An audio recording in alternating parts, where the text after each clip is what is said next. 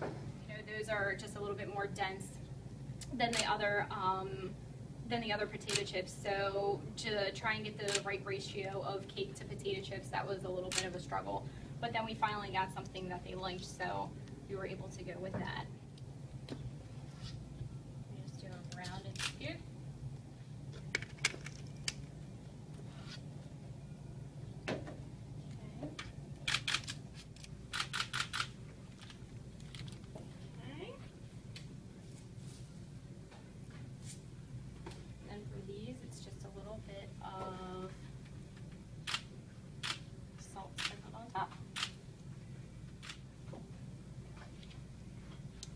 Have it, folks.